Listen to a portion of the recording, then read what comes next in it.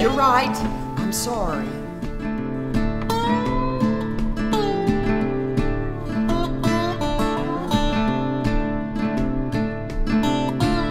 Maybe my cynicism flowered with the realization that the obligation of caring for our parents was mine alone.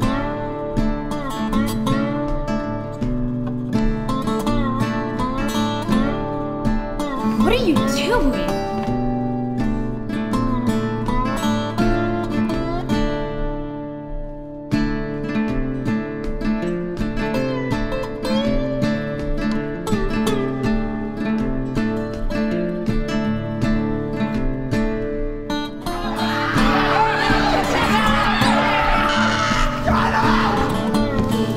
This is.